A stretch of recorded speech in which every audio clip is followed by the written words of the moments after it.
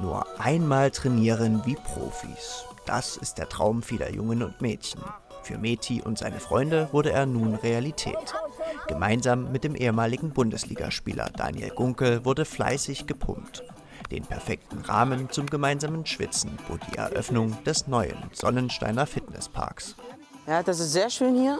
Man kann hier Klimmzüge machen, Liegestütze auf dem Boden.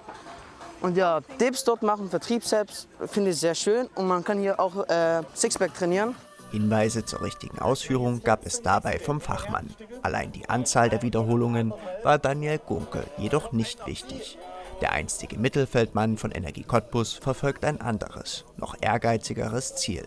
Gunkel will den Kindern nicht nur frühzeitig, sondern auch nachhaltige Freude an Bewegung vermitteln.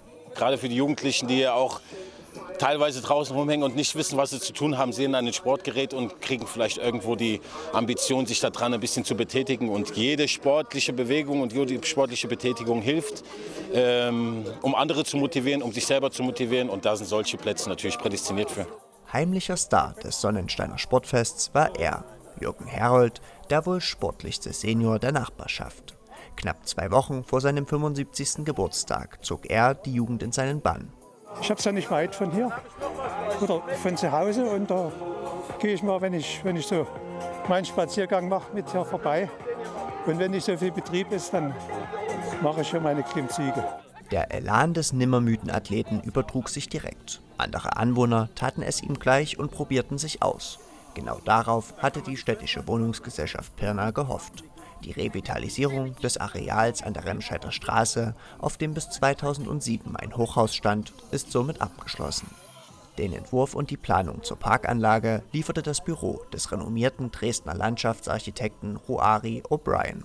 Die Fläche, die belegt vier verschiedene Themen. Äh, das beginnt mit der Zeit, also direkt hier hinter mir ist eine Sonnenuhr, äh, wo man im Sommer zumindest die richtige Uhrzeit auch ablesen kann.